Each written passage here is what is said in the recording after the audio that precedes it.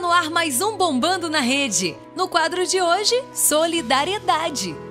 Essa é a Animal Aid Unlimited, uma organização que atua no mundo todo em resgatar e salvar animais dos maus tratos.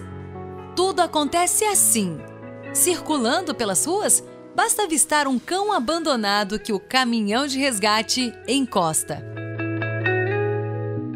Vale até descer pendurado em uma corda para salvar o animalzinho.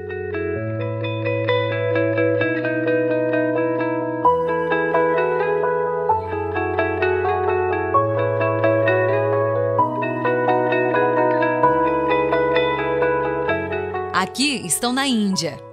Esse vídeo circulou o mundo e já foi visto por mais de 5 milhões de pessoas. Magra, fraca, faminta e sofrendo de uma doença que pode ser fatal em cães, a sinomose, esta filhotinha foi encontrada à beira de uma estrada em Udaipur, na Índia. Uma equipe de voluntários que defendem os animais se aproxima. A cachorrinha, mesmo fraca, abana o rabinho, demonstrando a alegria. Ela nem imagina que essa turma está ali justamente para salvá-la. Eles a pegam no colo com muito cuidado para não machucar ainda mais o animal e levam para o caminhão de resgate. Eles imediatamente começam seu trabalho aplicando soro antibiótico e uma dose extra de carinho. 14 dias depois, ela já está assim.